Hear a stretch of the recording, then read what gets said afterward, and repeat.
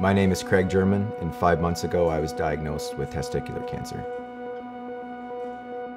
So it was uh, October 31st. I was just feeling a little bit different. I didn't really know why at that point, but uh, I have some testicular pain.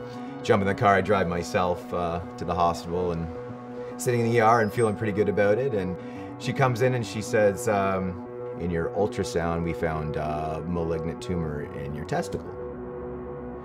And I kind of said, malignant. And she said cancerous. And then it's just, whew, whoa. You know, saying the word cancer is, is just, it's just a shock. I remember going home that night and uh, emailing Movember and said, you're not gonna believe this. Um, it's, it's November 3rd. I'm the captain of this team. We've been doing this for 10 years and it's me. He's like, what do you want to do?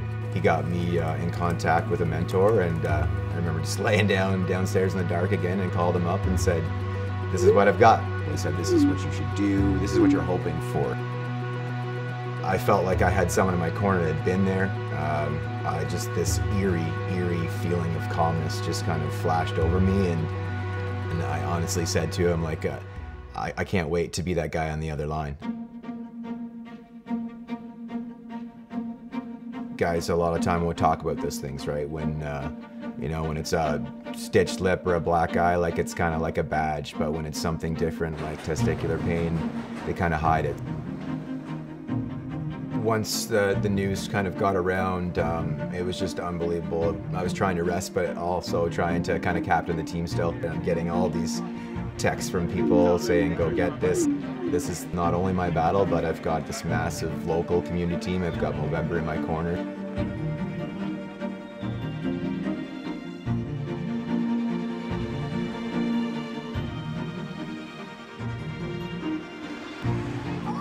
We had been running Movember for nine years, and I had talked to these people, and they had come in, and they had donated, and they really hadn't opened up before.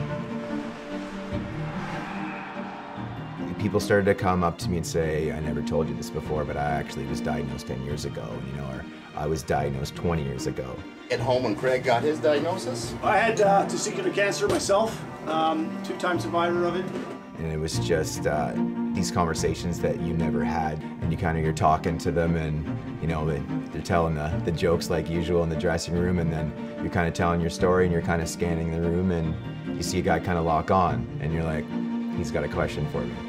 And these are things that would never happen, right, with, without having this team. Men a lot of the time aren't the first ones to talk about themselves or look after themselves. So having having kind of those conversations that guys really don't have is, is massive. You kind of have this avenue to reach out, and now having that information, it's just uh, it's just so powerful.